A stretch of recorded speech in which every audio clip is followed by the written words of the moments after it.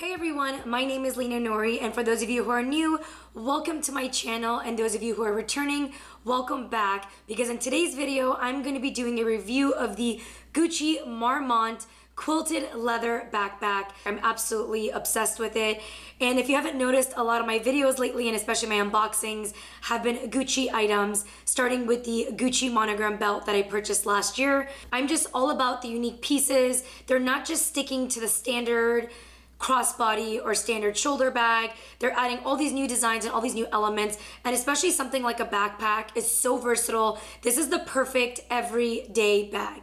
Not only is it stylish and it's chic, but you can also wear it on your back, which means you don't have to hold it on your hands. You're not gonna be lugging it around. And of course, you can hold it by the handle and then wear it on one shoulder, but it's meant to be worn as a backpack, which is on both of your back shoulders. And if you've been watching my other unboxings, I've really been sticking with the more subtle pieces, meaning just the standard black or cream leather, and then it has the signature GG and the rusted gold and I just think their pieces are everything. They look amazing in outfit look photos. This one is just the most practical out of all of them because it is perfect for everyday use. And so as usual, I'm gonna go into the most important detail, which is how much does this baby cost? And that's the most important question you always wanna ask yourself when you're buying something is you wanna make sure it's gonna be in your budget and it's something worth buying. So this piece retails for $18.90 and that is without tax. And that's a little bit steep for a backpack if you're thinking to yourself, 1890, what happened to the JanSport backpacks that you could buy for $39.99? This is obviously not meant to be a backpack to be worn in school unless you want to be stylish and you want to take it to class, but I definitely recommend this more as an everyday bag, day to day, as like a style piece. If you're wearing this every single day, you're definitely to get your money's worth. And also too, I've been looking at a lot of other designer bags, and that's also something that you want to do is when you are looking to purchase a specific type of item, whether it's a belt, a purse, a fanny pack, or a backpack, you want to look at the other designer options. And this was actually the most affordable. I'm to throw up some pictures up on the top to show you some different designers that I was looking into. For example, there's the Saint Laurent, which is 1990, and I just didn't like the way the Saint Laurent looked. I feel like it kind of looked like a jumbly bag. I know that's like a weird, I don't like what does even jumbly mean, but I just didn't like the way the structure of the bag was. And then of course there's Chanel and Chanel has so many different variations, but all of the Chanel backpacks, I mean the cheapest Chanel backpack starts at like 2900 and it goes all the way up to like 4900. So that is like definitely on the higher end of the backpacks. And I would say the Gucci, this specific backpack is definitely on the lower end. And there is one other backpack. And next, I'm gonna throw that photo up on the top for you to see. That is a new backpack that just came out. It's kind of more of a drawstring backpack. And I would say it's about 60% of the size because I did try it on. So it was about 17.90, I believe. And I would definitely say that backpack is a lot more stylish, but this is definitely the more practical option. And so now that we've got the pricing out of the way, next we're gonna go into the specific details of this bag, starting off with the measurement.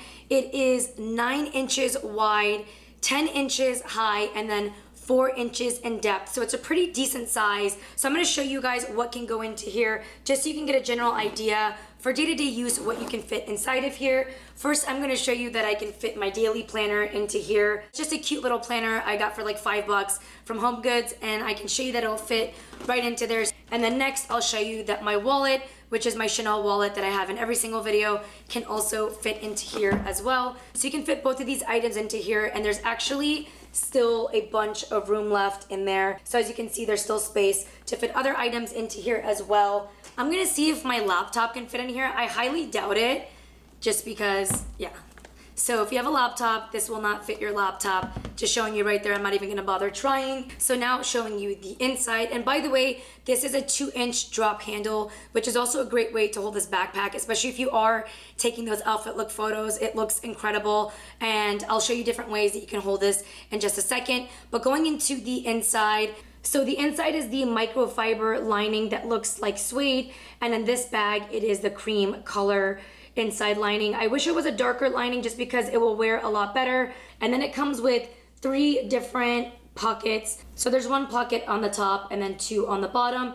And those are just easy little compartments that you can put like your credit card or ID for easy access. And then there's two zippers on here. So it has one zipper on this side, another zipper on this side, and then it has those cool little leather tassels, which just kind of give it a little bit of character. And you can zip it either to one side or you can zip them both in the middle. I think it looks kind of cute when you zip them both in the middle because it gives like a little bit of character to the backpack. Just kind of throw those little tassels on top. And then as I mentioned earlier, it is a two inch drop and then there's stitching all the way around the handles and then also all around the backpack. And then the chevron imprint is a signature imprint that's called Matelassé. The only other option this came with is the same black backpack and then it has those little bugs on there and I don't quite understand the bugs. Um, limited edition pieces, I'm just not a huge fan of the bugs. So this was definitely the way to go. But as I mentioned, I would have loved to see little pearl options on here because I think that's just super cute. And this backpack came in, I believe, five different colors. So this is the black. It also came in the cream, the dusty pink, which is kind of like more of the taupey pink. And then there's a baby pink as well, which is just a light baby pink. And then it came in the red. The red is super cute. I just feel like you don't really get a lot of use out of it. This is the color that I would find that I would get the most use out of just because when I am wearing something day to day, I definitely want it to be black. I know that in my other videos, I've showed you guys unboxings. For example, I have the Givenchy Antigona and it's nude. You don't want to see what that bag looks like. It is just completely worn down. So I've decided that I'm gonna go with a darker everyday bag. And even the Gucci belt bag that I have, the one that goes around your waist and it's white with the pearls, I found that there's already been color transfer. I try my best not to wear it with denim, but even with being super cautious, there's definitely been color transfer on there, but I'm gonna end up treating the belt bag. And then just showing you the back, the chevron quilted imprint goes all the way in the back as well. And then these are the two straps and it has these little belt buckles right here that are cute and you can adjust the backpack so you can make it shorter.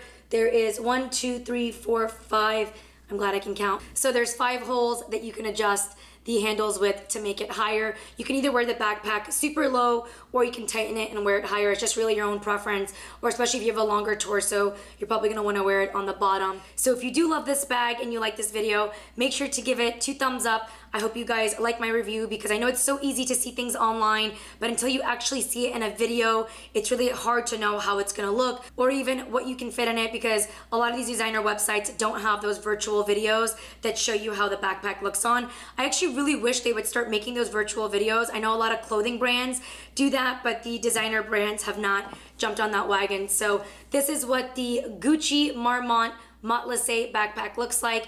And I hope you guys like this video. If you haven't already, make sure to subscribe to my channel. And then as I mentioned, give this video two thumbs up. I hope you guys have an amazing day. Thank you guys so much for watching this video.